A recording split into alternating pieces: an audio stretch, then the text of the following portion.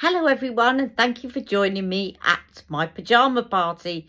And just for those of you that have been watching me for the last few days, I can assure you that these pyjamas do go in the washing machine. They went in yesterday. So although it looks like I'm wearing the same pyjamas every day, I do clean them. Right, without further ado, I had a request from Clara. Now, Clara has another YouTube channel called um, Beauty is Ageless 55. Uh, please go and check out her channel. And she watched my video from the other day where I was using some of these pigments by um, Karla Cosmetics. And I asked you to request which one you'd like to see next. And Clara requested Dolly. Now, I did Dolly on a live a few weeks back and I did this look on the live and it was actually not my look it was something that I nicked off Instagram off the Karla Cosmetics um, page. But it's so worth repeating. So I'm going to go in with this. It's a really simple but effective look and the sun is hitting my face at a really weird angle. So I do beg your pardon everyone about the lighting but it should settle down in a minute okay? So let's get in with this. Now first of all we want to start by using this P. Louise um, colour base and this is in the shade Vivid Violet. I'm going to swatch this on my hand and show you what it looks like. Now for some reason some of these come out a bit runny and they don't mix very well and I've found that's a problem with this one so you have to squeeze it a bit before you actually get the thick stuff. But it's a beautiful lilac colour. And you know me and lilac. Right, so first of all, I'm just going to apply this with my fingers onto my lids. And you really don't need that much. So I'm just putting a little bit there and dabbing it. And then I'm just letting that just sit there for a minute. And then I'm going to go back in the other side with a clean finger and just spread it over my lids.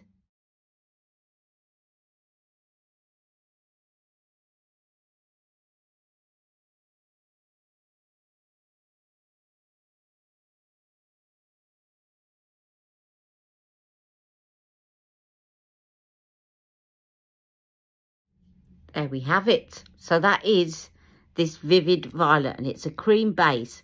Now, I'm going to do another video about using pigments because they're so versatile. And this is one way of using your pigments is to use them under a, over the top of a cream product because they really make them pop. And what's really great fun is if you actually apply different colours underneath. So I'm going to swatch you, first of all, this Dolly shade. And I'm going to swatch at you with the this colour underneath. And while this is sort of drying and going tacky and then I'm going to swatch it also over the top of black the black one that I've got. I've got a black one of these cream shadows. And you can see it looks completely different so you can really play about with them and it's where the artistic side of you will come out. So first you have the pigment on its own then you've got the pigment under white then the pigment under black then the pigment under Karla's Fix Potion, which is clear, and then finally the pigment under the purple. Now I took this under different lighting because that's the beauty of these pigments. They look different in different lights, so stand by for the other pictures.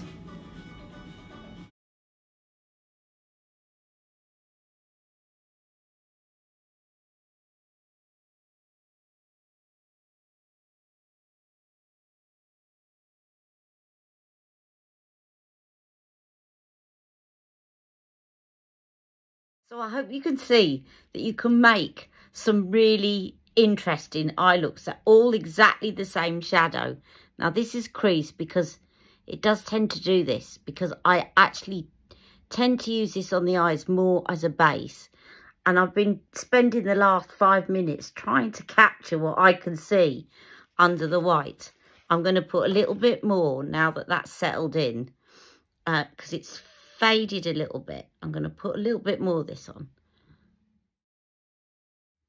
because I want to go for the lilac look.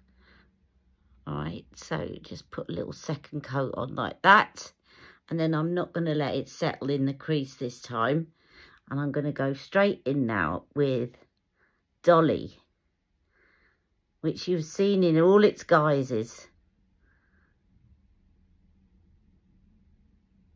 Now I'm going to pick up my pigment brush, which as I said before on a video the other day, I got these from um, Karla Cosmetics, but you can get them really cheaply on Amazon.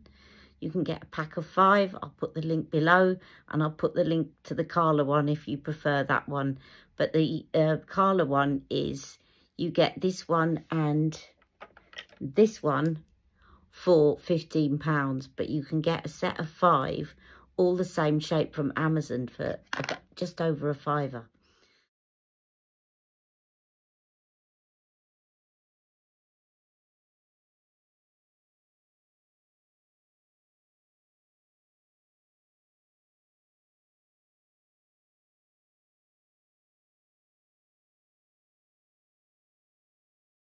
So let's go in now. And what the reason that I like the silicone brushes is because it just picks up your pigment and it kind of attracts the pigment so it doesn't go everywhere when you're picking it up.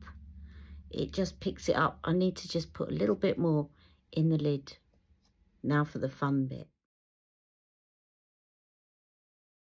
I love it. I love it, love it, love it. Now, I'm trying not to go up too high with this because when you're a hoodie, you don't want something that reflective going into your socket or it'll just intensify the hood. It will just make it more apparent. So I'm sticking to, I'm cheating a bit of a bigger mobile lid than I have, but I'm staying away from where the dip is, the socket dip so much easier to do it with a silicone brush. If you haven't got a silicone brush yet, get one. Whether you get the Karla one or the Amazon one, just get one. You won't regret it if you if you use loose pigments. Also, really great for picking up the um, eyes to mesmerize because I find they're impossible to pick up with a brush you end up either picking up too much or too little and then splodging it on your eyes. Right, there you go. I'm going to just close my eyes and let you see that for a minute.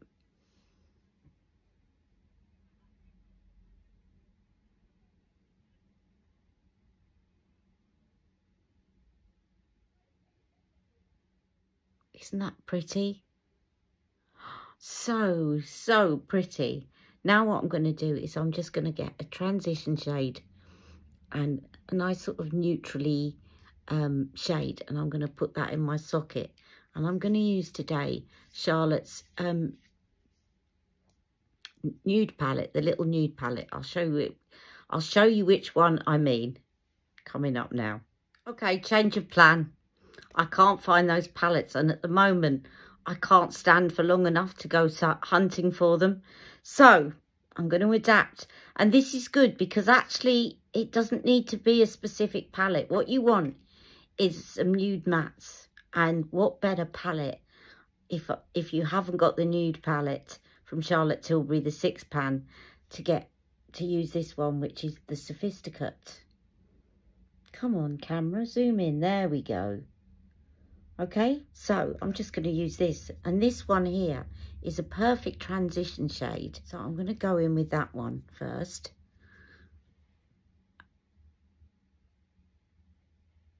Now you can use purple in the socket. But personally, you know what, when you're using such a beautiful shade like that on the lids, I kind of prefer to let it speak for itself and also have the contrast of the warmth of the neutral shade. But you can put purple in there, whatever you like. I would still use this even with the purple right at the top to just blend it out so you don't have a stark line.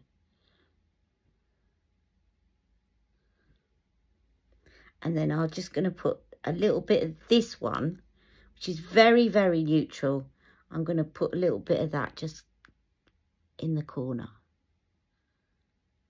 Again, just to really give me a shadow where I want it the most.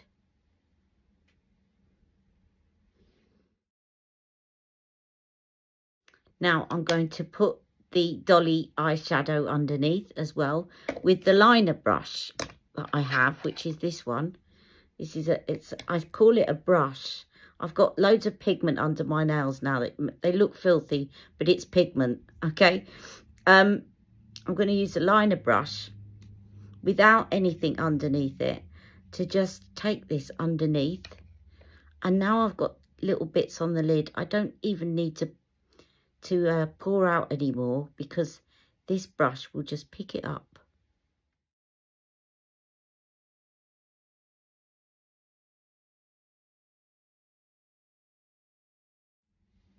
Do you see how it brightens up the under eye? Now I might put a bit of something darker in the corner as well, but I definitely want to get that scene in the inner corner like that.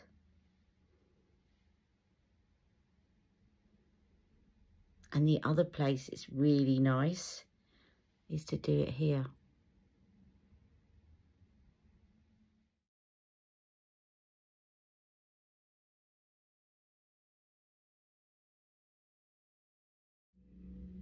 Now, did you know pigment is pigment? and you can even use these. I'm going to be brave, I think.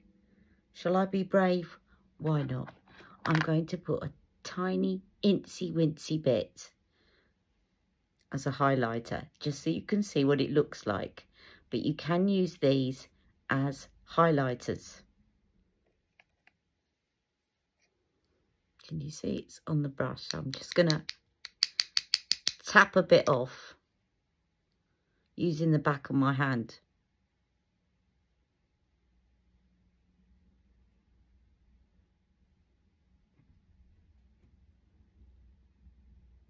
Makes a beautiful highlighter. And I'm picking Jack up later if you watch my Instagram story today. So at least he'll be able to see me in the dark.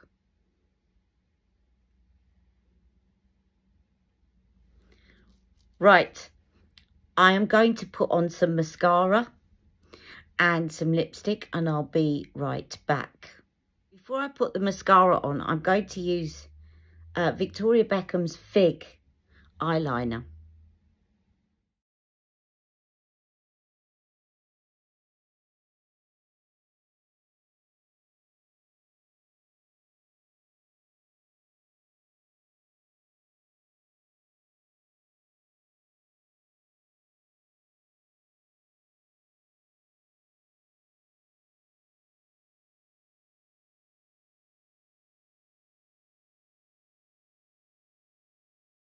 Right, everyone, I'm back and I've filmed another video in between. So this is the look. Um, what I did is I went in with the Victoria Beckham Fig eyeliner and then I've put a couple of coats of mascara on, starting with um, the Charlotte Tilbury Pillow Talk mascara and then going in with the MAC Stack mascara and using an eyelash curler, which you're going to see in my next video. And then I went in with on my lips. I'm really loving this. Um, this is a Victoria Beckham lip liner in shade 4. They're all numbered ones, her lip liner. And I used that underneath. And then over the top, I used Posh Gloss in Aperitivo. And on my cheeks, I used the Wayne Goss um, blush in Vivid Azalea. And that's his blush. I'm going to put all the details below so that you can double check. And on my brows, I'll tell you what I put on my brows. So just have a look. If ever you're not sure what I've got, what I'm wearing, just have a look in the description bar. Thank you for joining me. Take care and see you all very soon. Love you all. Mwah.